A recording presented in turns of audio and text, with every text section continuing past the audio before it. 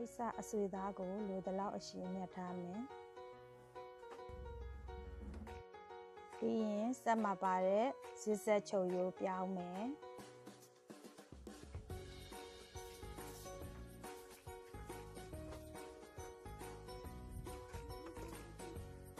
စီးဆက်အကြီးအသေးကိုအကြီးဆုံးမှာထားပေးရမယ်။သေးလို့ရှိရင်သူကအနားလုံးနဲ့က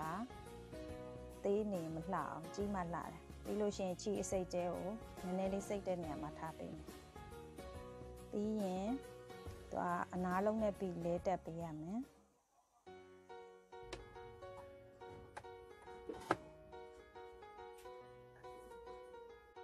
အနားလုံးနဲ့ပြီးကနှစ်မျိုးရှိတယ်မြောင်းရှည်နဲ့မြောင်းတူဒီနေရာမှာလုံးကျင်တော့မြောင်းရှည်လုံးပြီးကိုသုံးမယ်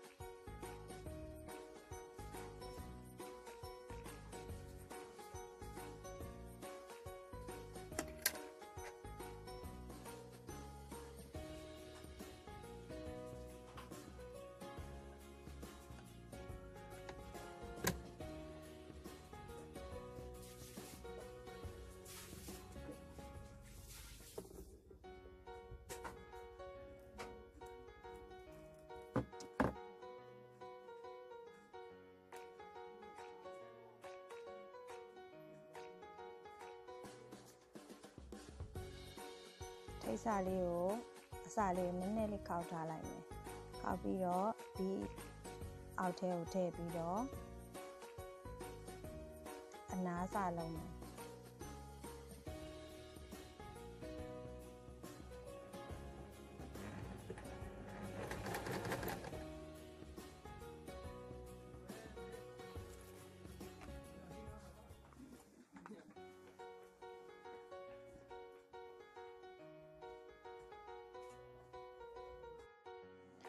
ညများကျိုးလေးကိုအဲ့ဒီလုံးအနားလုံးပဲပိတ်စာလေးတွေကိုအသားလေးထိုးထည့်ပြီးတော့သူကအနားလုံးသွားလို့ရှိရင်သူကအနားလဲလုံးမယ်ညများကျိုးလေးလဲဝင်သွားမယ်သူကရိုးရိုးအနားလုံးတာထက်သူကကျိုးလေးထည့်ပြီးလုံးလိုက်တဲ့အခါမှာမမာတောင့်တောင့်လေးနဲ့ခယူးပုံအခွေလေးတွေရတယ်